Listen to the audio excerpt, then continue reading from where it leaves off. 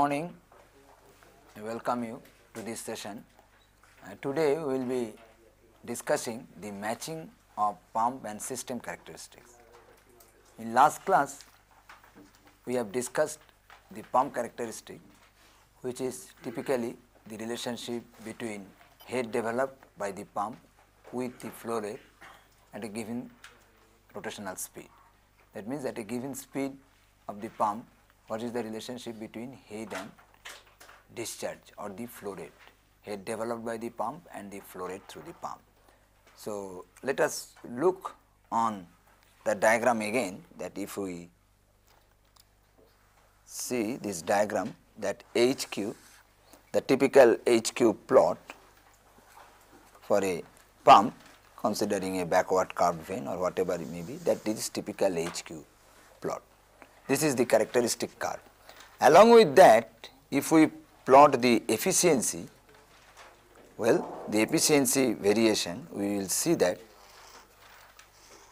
the efficiency curve goes like this. So, that means if we also plot the efficiency versus this is the maximum efficiency point. So, this is the this is sometimes known as eta efficiency flow rate characteristics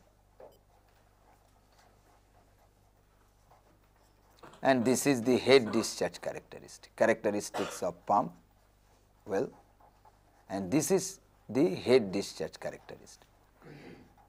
So, characteristic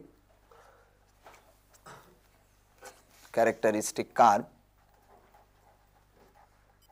characteristic of pump.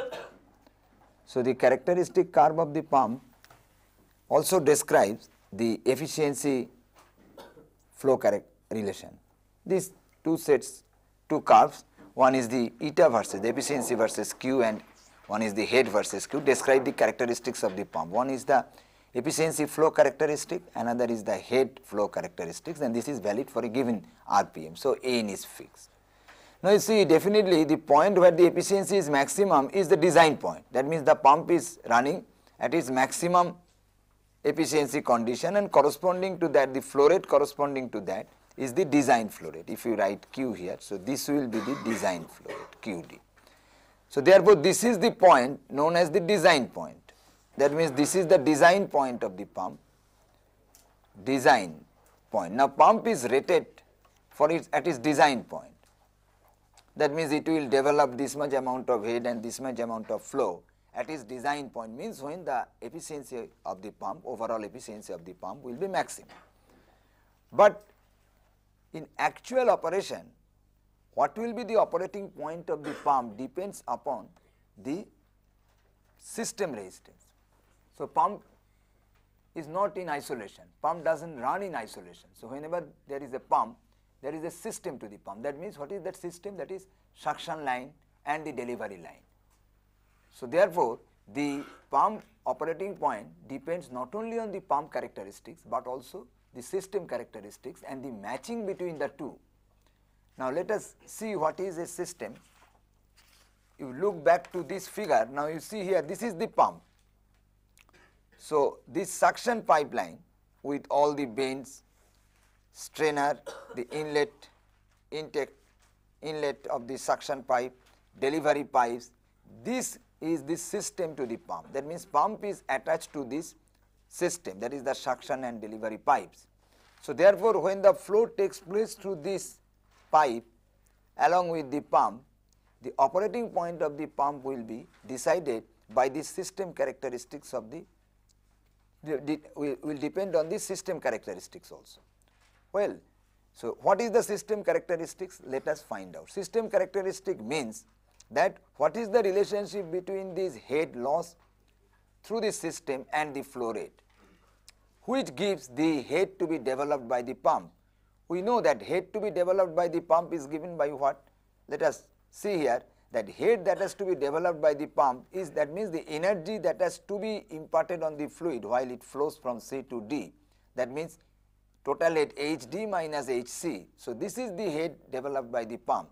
This must be equal to this potential head difference between the sump and the upper reservoir because the fluid has to be put from the point A to the point F along with all the losses that it incurs along its flow.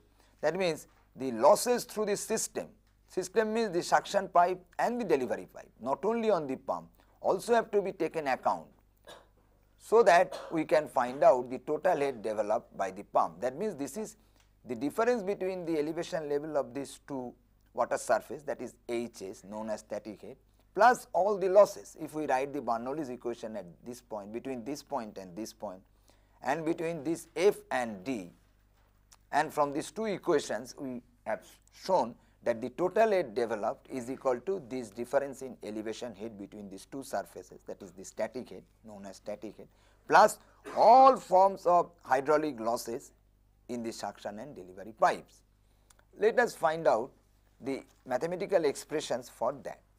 Now, let us write the head loss in the suction pipe as H1 suffix 1 is the head loss in the suction pipe which is the loss in total loss in the energy per unit weight due to flow through the suction pipe.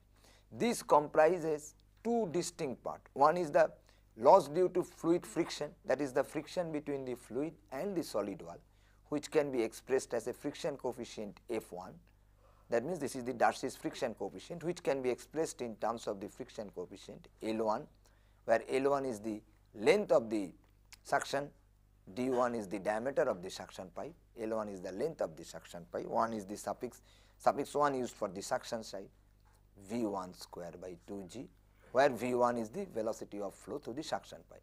So, the typical fluid friction loss can be expressed in terms of a Darcy's friction coefficient F1 times the L1 by D1 that is the length to diameter ratio and the velocity here. Plus another loss take place due to the bends and valves. See in this pipe, when the fluid flows to there are bends, sometimes a valve may be there in the pipeline. Usually to control the flow, a valve is given at the delivery side. Valve is not usually given, is usually not given in the suction side because of the cavitation restriction, because we want to minimize the losses in the suction side that I will discuss afterward. Usually a valve is placed in the delivery side so that to control the flow through the pump. We want a less flow rate, so we operate with the valve so that it gives a lesser opening through the flow so that the flow is controlled. So, to control the flow through the delivery line, we insert a delivery at a valve in the delivery line. Different types of valves are inserted. So, the, when the fluid flows through the valves, there is a loss of it. Similarly, the while fluid flowing through this bend, due to the change of direction, change in the direction of flow, there will be a loss. So, all these losses as you know are termed as minor losses in fluid mechanics. So, this minor loss is the second kind of loss that takes place in course of flow through these pipes. This can be expressed as some constant time the V 1 square by 2g. As you know, all the losses can be expressed in terms of a constant loss coefficient k let it k1 for the suction pipe times the velocity head. All right, I think okay. Similarly, we can think of the head loss in the delivery side to consist of these two distinct parts. One is the usual friction loss, the friction between the fluid and the solid wall L2 D2 into V2 square by 2G. Okay. Plus similarly K2 V2 square by 2G. That means this H1 and H2 please please K1 is due to bend losses. Again I am telling this is the usual friction loss. So, second part takes care of all the minor losses that means losses due to bends and losses due to valves. There are so many things in suction pipe, there are strainers, non-return valves, there is no such this type of valve, gate valve or globe valve, delivery line, but there are strainers. There is another valve here known as non-return valve, known as non-return valve, so that the fluid does not come to this sump from the pump. So, this is the non-return valve. You understand that is the non-return valve. So, this there is a non-return valve, this is a strainer. So, all these things are there. Moreover, there is a pipe bend. So, therefore, this first term in these two equations are the usual friction loss that is between uh, friction between the fluid and the solid one. while the second terms in both the equations represent the minor losses. That means losses incurred due to the flow of fluid in the pipe because of uh, their flow takes place through the pipe bends because of their change in direction of flow through the pipe bends, through the uh, valves, through strainers at the intake, and valve at the intake, all these things are taken account in this. If there is no valve, no bend, no minor losses, then this will be zero, of course. So therefore, we see this H1 and H2, sum of the H1 plus H2 is the total head loss in the system. system. Now you see that V1 can be expressed at, in terms of the flow rate as Q by pi d1 square 4. Similarly, V2 can be expressed as similar 4q by pi d2 square. That means our intention is to replace the velocity of flow in terms of the flow rate. So therefore, this H1 will be, if I just substitute it, what will be the values of H1? H1 will be 8, 8 by G into F1 L1 by D5 D1 5 Q square. All right, plus what will be this value? If I put this there, then 2 K1 by G. All right, 2 K1 by G pi. Here the pi will be there. Okay, pi square will be there. Well. So, here also pi square will be there divided into q square. Alright. Similarly, H2 will be 8 pi square g. Please check it, very simple thing, but I can write the wrong expression. Okay, q square. What it will be? 8. Very good. 8. Because the same thing 8 pi square by g k1. Sir, the suffix 2. Here there also d2 to the power 4. Please tell me it is very simple. d2 to the power, uh, sorry, it is d1. So here also d1 to the power 4. So here also d2 to the power 4. All right.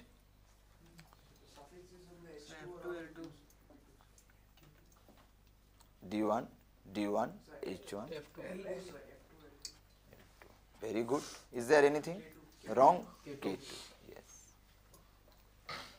Oh, this is K2. K2 is already. Okay. Very simple thing. But these are not the important things. Important thing is that all these things, this is constant. That means these are constant. These things constant. So therefore,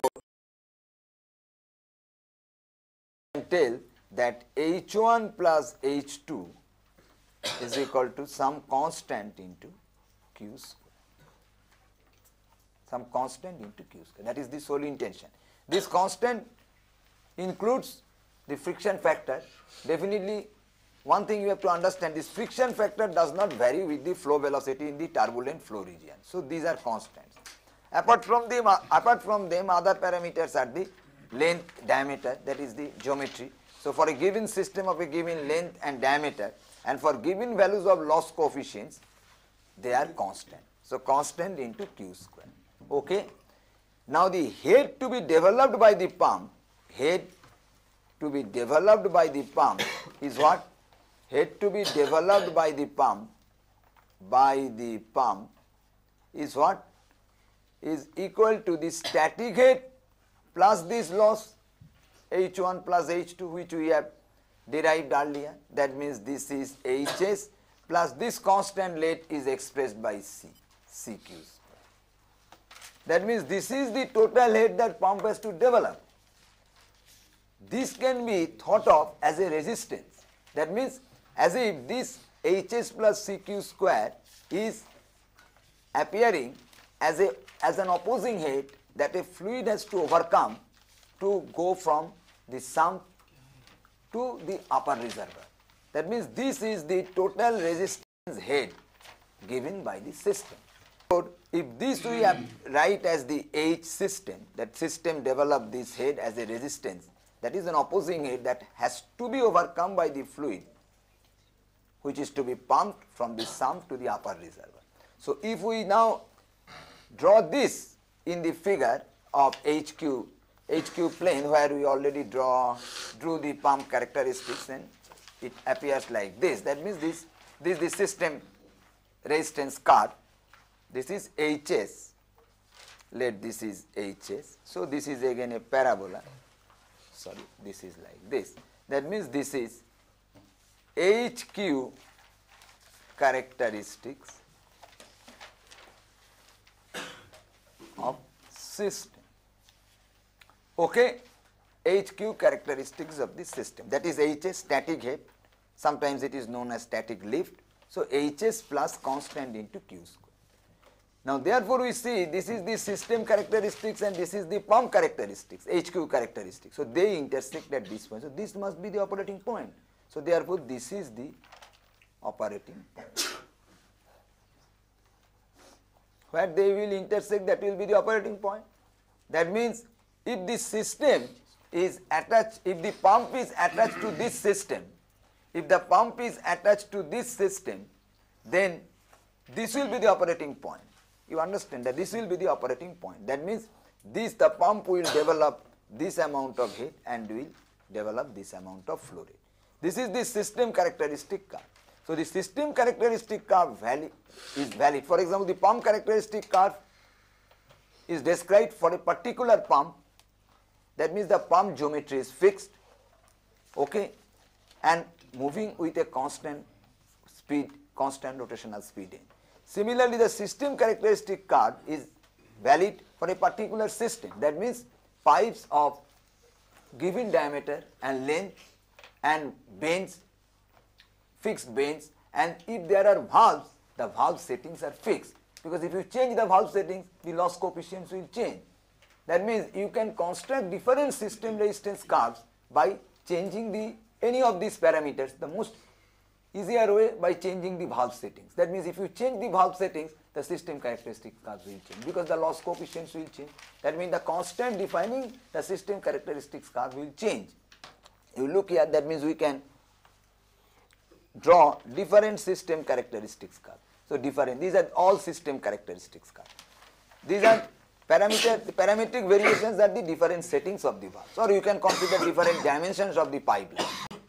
Okay, these are the different settings. So that means if you change the valve position, that means if you create the system resistance, different system resistance, then the operating point may shift from here to there. That means this is the system resistance where you close the valve. That means this is creating more resistance to the system. For a given flow, the opposing head will be more. So therefore, the pump has to develop that head at steady condition. So the operating point will be shifted to this point. So therefore, operating point is decided by the intersection of the system characteristics curve. That means the system resistance characteristics that the opposing head which has to be developed by the system, how does it vary with the flow rate and the intersection of the system characteristic curve with the pump characteristic curve. So this point may not be the design point. This is the design point. For example, here you see any of these three points for the three system characteristics curves are not the design point. But here you see if the system, if you take this as the system characteristic curve, the operating point is very close to the design point. Now the closeness of the operating point to the design point depends upon the fact that how good an estimate is made about the system resistance while design of the pump was made. Clear? Okay, now after this I will discuss the effect of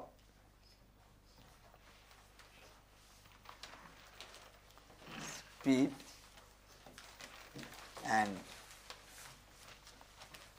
diameter effect of speed and diameter on pump characteristics.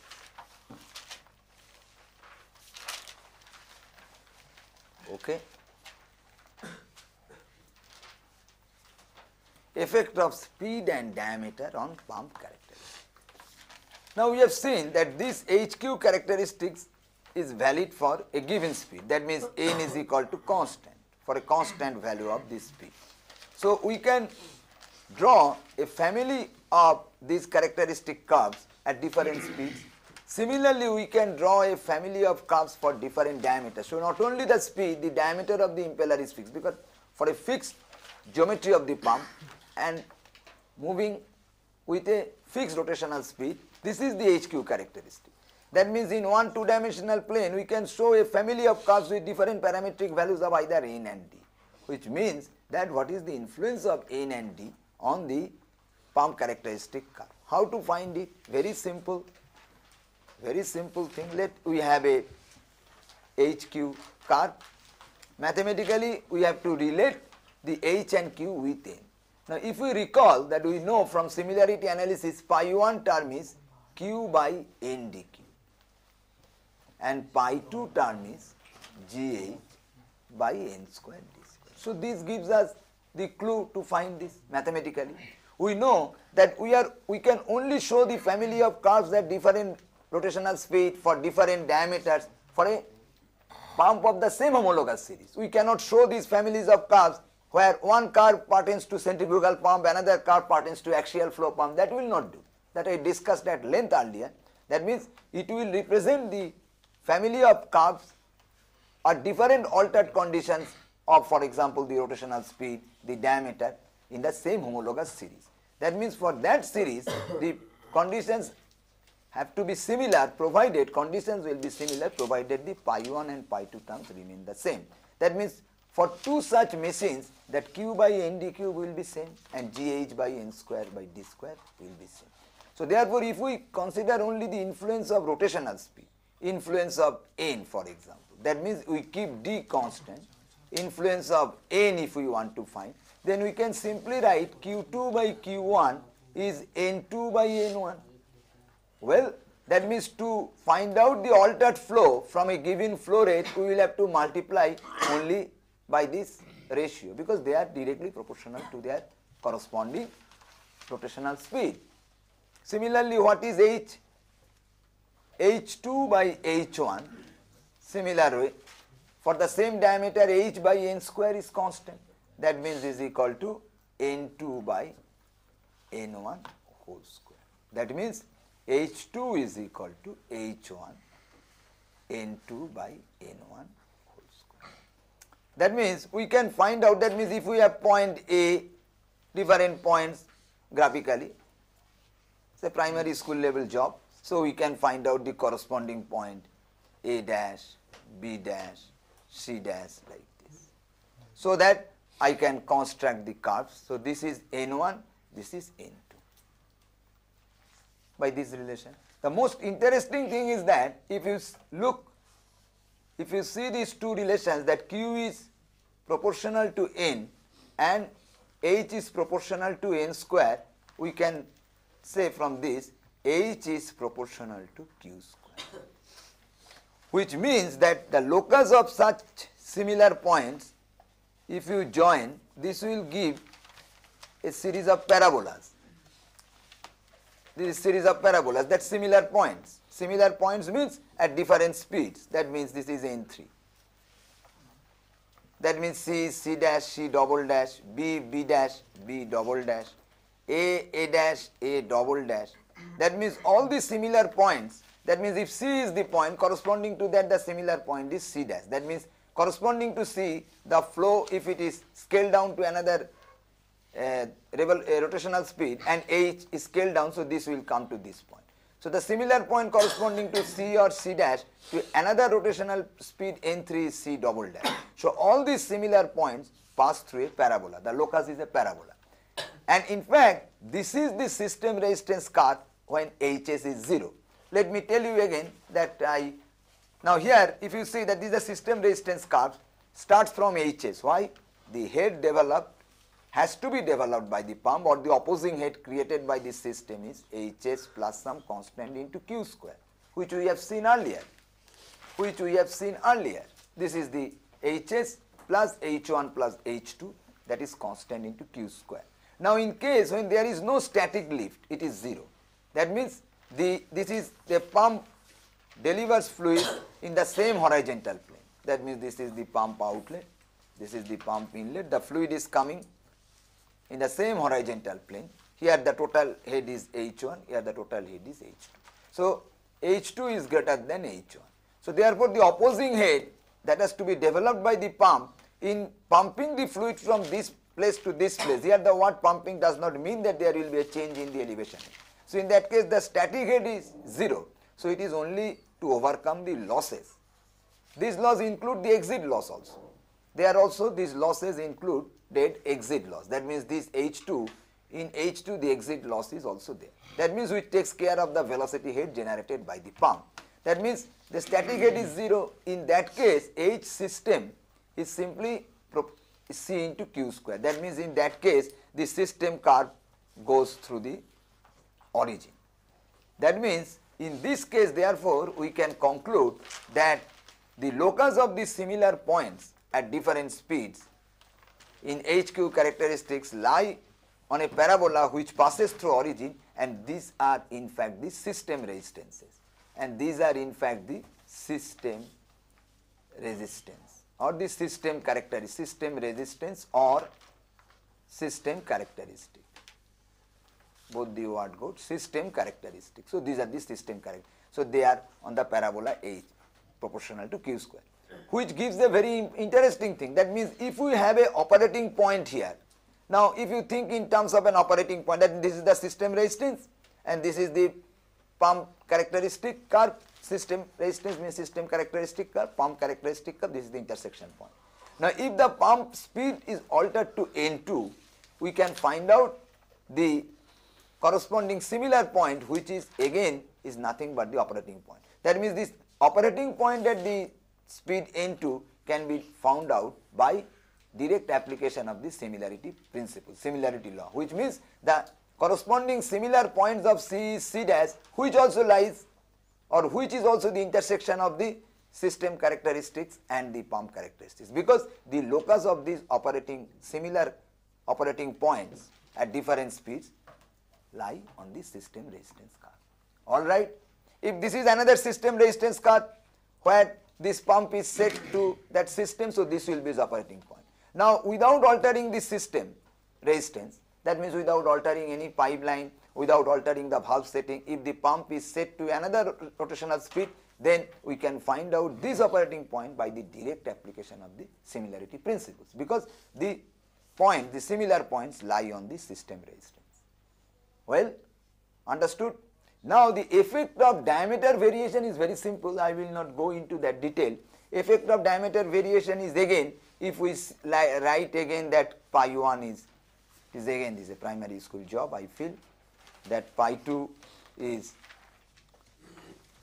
gh by n squared d square then it is simple when the influence of d we consider only the influence of d then n is constant that means q by q1 by d1q is q2 by d2q. That means q2 is found out as q1 into what d2q by d1q.